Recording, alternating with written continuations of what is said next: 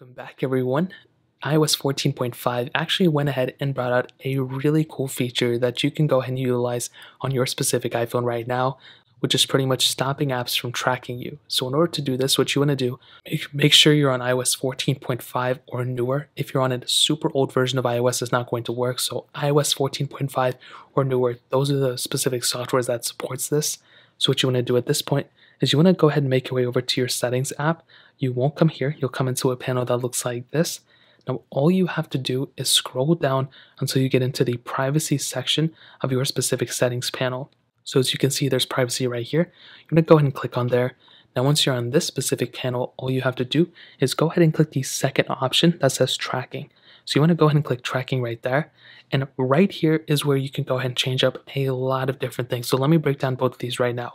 First of all, this is pretty much the main option if you want to allow apps to request to track you. So basically, eh, if you open up, let's say Fruit Ninja, I don't know why Fruit Ninja is the only app here, but let's say if you open up Fruit Ninja, it may ask you, hey, do you allow us to track you? Do you allow us to, you know, allow us to do any of these things?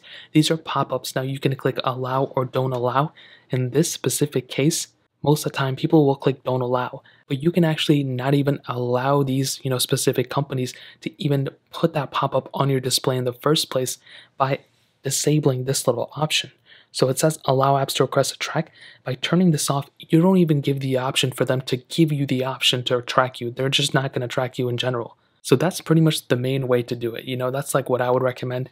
Now let's say you want to you know allow it for some reason well, you can disable certain apps. So let's say you want to keep this on for some reason. There are some apps that actually require this thing to be on. I think some like thermostats and stuff probably require this to be on, in my opinion. I could be totally wrong about that, but there could be some cases. Now, let's say you want this on, but let's say you wanted to keep Fruit Ninja on. Well, you can go ahead and keep certain apps on and certain apps off. So in this case with Fruit Ninja, let's say I don't want Fruit Ninja to even ask me, I don't want them having anything about me, you can turn this off and essentially they won't I'll be able to track you and or they won't be able to have that pop-up come into your display where they request to track you. So that's essentially how you go ahead and stop apps from tracking you in my opinion.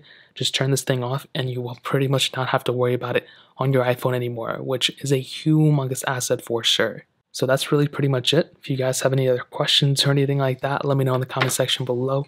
Hit the like button, that would mean so much, but definitely hit that subscribe button. Every single subscriber that we get really does count, so it means so much if you guys can hit that. Also, check out the other links down in the description as well. My Twitter, my Instagram, my other channels. More importantly than everything else, I love every single one of you guys. Hopefully I'll catch you guys in the next video. Peace out till then.